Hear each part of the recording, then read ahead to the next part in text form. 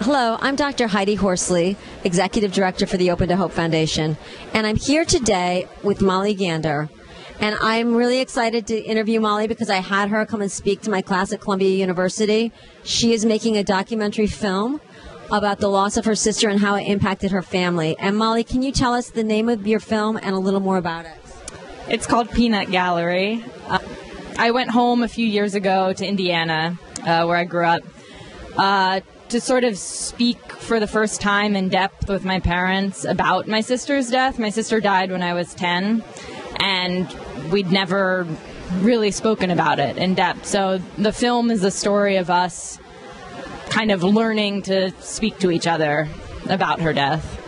The film is really powerful because, I mean, I've seen some pieces of it, and, you know, it really captures how difficult it is to have these conversations. And how old were you at the time that your sister died?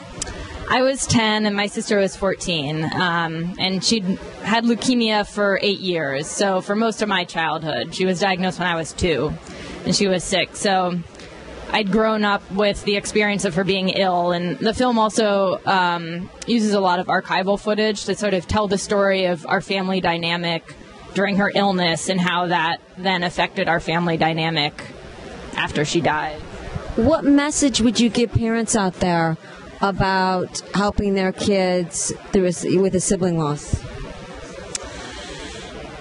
I think just being willing to listen. I think it's probably really hard to take in. I mean, I've gained a lot of compassion actually for my parents' perspective in doing this process and I think it's so hard because the family's blown apart and everyone's dealing with their own situation. But just being willing to, I think, listen, I, I think helps, even if you can't quite take it in at the time, just hearing. I like what you're saying, Molly, because, you know, my brother died and I had a sibling loss, as you know, also. And the thing is, it's a double loss for us because we've not only lost our brothers and sisters, we've lost the family we once knew because our our parents often aren't as available as they were emotionally. And like you said sometimes they can't really hear what we're saying. And so I like the idea of just staying open.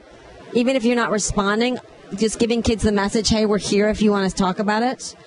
What helped you not only survive but eventually find hope again after your sister died?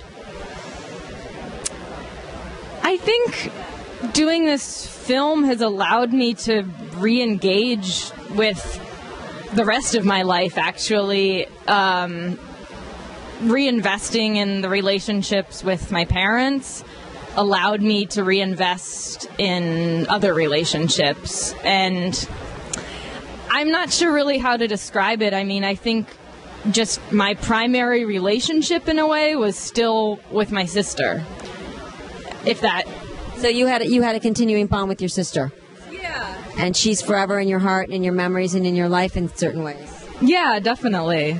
Definitely. And where do people find this film if they want to see it? And I would highly recommend that they do see it. The film should be finished by the end of summer. Uh, there'll be a trailer up soon um, on the internet, peanutgallerydoc.com. Um, I want to involve you know community groups if they want to have screenings. They should get in touch with me. Very good. Thank you so much, Molly, for building awareness and talking about families and the impact of a sibling loss.